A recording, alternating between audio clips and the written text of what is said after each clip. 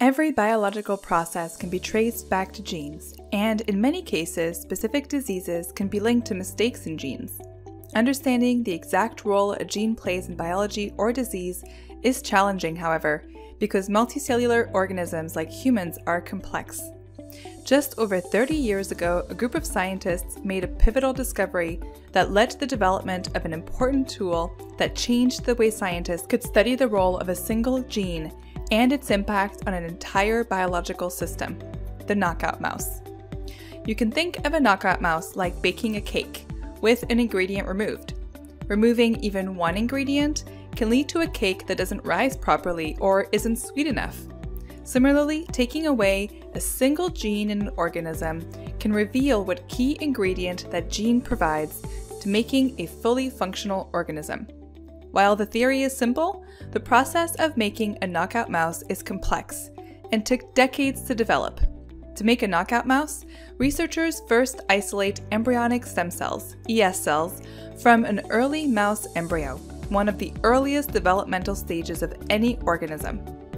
Most ES cells are a type of cell that still have the potential to develop into any cell or tissue in the body. So, if a gene is removed from them, then all subsequent cells and tissues will also be devoid of the gene. One of the most common ways scientists can remove a gene from ES cells is using a method called homologous recombination. In this process, a piece of DNA containing identical genetic sequences to the region surrounding the gene of interest is used to swap out genetic material in the ES cell by either rendering the gene dysfunctional with the addition of a mutation or replacing it with some DNA that interferes with the gene. After the gene is removed, the ES cells are inserted into a mouse embryo and implanted into the uterus of a female mouse. The resulting baby mice will have some tissues where the desired gene is removed, those originating from the ES cell, and others where it is not, those originating from the embryo itself.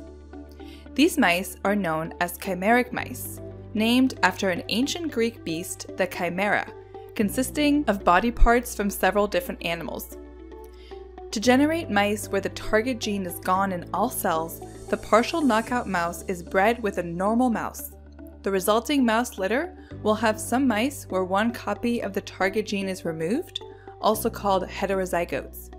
These heterozygotes are further bred together over several generations to produce a line of mice where the desired gene is completely removed, also known as homozygous knockouts. This discovery of how to make a knockout mouse was so critical that the three scientists involved won the Nobel Prize in Physiology or Medicine in 1997. Since then, knockout mice have been critical contributors to numerous scientific advances.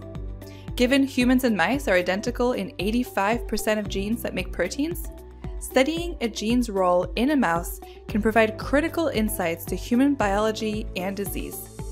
One of the first examples was the creation of a mouse model for cystic fibrosis, a disease caused by a mutation in the CFTR gene. Knocking out this one gene in mice recapitulated many of the cystic fibrosis symptoms observed in humans, allowing scientists to understand the complexities of this disease ultimately helping us treat the same condition in humans. Since then, mouse models have advanced research for numerous diseases, including arthritis, various cancers, and Parkinson's disease. In recent years, knockout mouse technology has evolved considerably, most recently with the advent of CRISPR Cas9.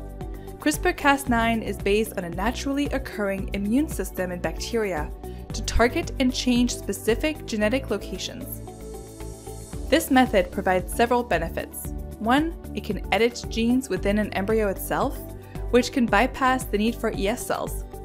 This also allows editing in animal models other than mice, as ES cells are not available for most animals. Two, it is extremely precise and can edit multiple genetic locations simultaneously. And three, it can create a knockout mouse in about six months, compared to the nearly two years more traditional methods require. As with any scientific method, knockout mice also have certain drawbacks. Some genes, for example, are so essential that removing them leads to the death of the embryo or a mouse that cannot fully develop. Additionally, many biological processes or diseases are impacted or driven by more than one gene, so removing a single one might not replicate all disease symptoms. Lastly, there are important biological and genetic differences between mice and humans, so observations made in mice may not always translate to humans.